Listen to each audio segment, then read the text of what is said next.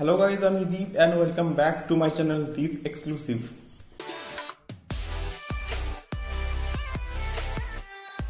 তো আমি এখন কথা বলব এমএক্স প্লেয়ারের আজকে রিলিজ হওয়া ওয়েব সিরিজ নাকাবকে নিয়ে নাকামের যে মেন স্টার কাস্টের মধ্যে আছে আমাদের ঈশা গুপ্তা আছে গৌতম রোডে আছে মল্লিকা সেরাবত আছে এবং- এর সঙ্গে সঙ্গে আমাদের দুজন বাঙালি অ্যাক্টর অ্যাক্ট্রেস আছে তাদের মধ্যে হচ্ছে অঙ্কিতা চক্রবর্তী এবং হচ্ছে অমিতাভ ভট্টাচার্য এবং এটাকে ডিরেক্ট করছেন একজন বাঙালি ডাইরেক্টর সৌমিক সেন এবং এটাতে টোটাল আটটা এপিসোড আছে এবং প্রতিটা এপিসোডের ডিউরেশন প্রায় তিরিশ থেকে চল্লিশ মিনিটের মধ্যে।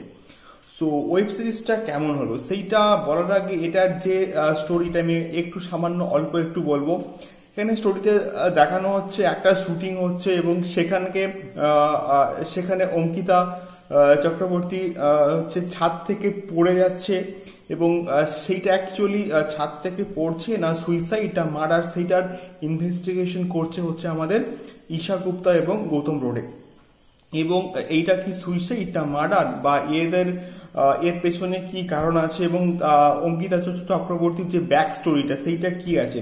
সেইটাকে নিয়েই হচ্ছে এই ওয়েব সিরিজ নাকাব তো নাকাবটা কেমন হলো? Naqaab is a one time watch time pass web series nothing else কারণ এইখানে শুধুমাত্র পারফরমেন্স বলতে গৌতম রোডের পারফরমেন্স এবং মল্লিকা শেরাবতের পারফরমেন্স ছাড়া আর কিছু দেখার নেই।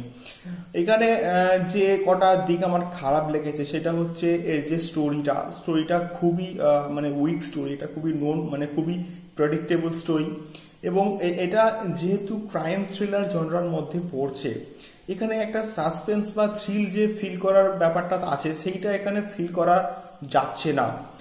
আর থার্ড যে পয়েন্টটা বলব স্ক্রিন প্লে স্ক্রিন প্লেটা খুবই স্লো স্ক্রিন প্লে এবং এটার যে টোটাল যে আটটা এপিসোড আছে, এই আটটা এপিসোডকে টানার আই থিঙ্ক দরকার ছিল না। এটা এটা খুবই ছটা থেকে সাতটা এপিসোডের মধ্যে কমপ্লিট করা যেতে পারতো।